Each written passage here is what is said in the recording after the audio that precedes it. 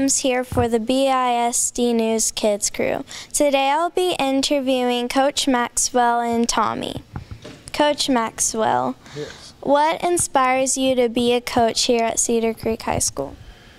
Well, I had great coaches growing up that I really looked up to, and and they just made me fall in love with the game, and it's the reason why I do it to hopefully do the same for the players that I'm coaching.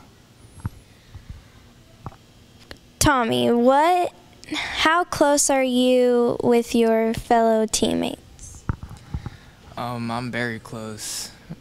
We do team bonding sometimes in the locker room, outside the locker room.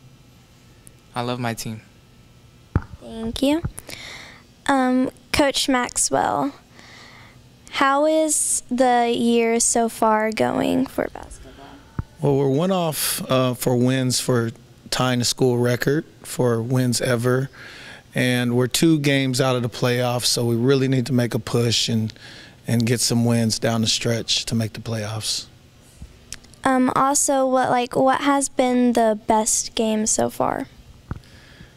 We've had many games that have been good. I, I'm I'm proud of of where we've came since last year. This being my second season, um, but we still got a, a long ways to go. But I I cherish every game. Every game is a learning moment. Thank you. Tommy, what is it like being a senior, so like one of the older people on the team? Well, when you're a senior playing your last year on varsity, you gotta make every single game count. What will it take to get you to a winning record for the end of the season?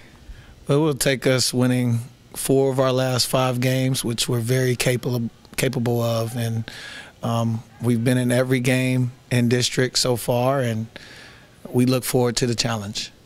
Thank you. This is Claire Adams reporting for the BISD News Kids Krew.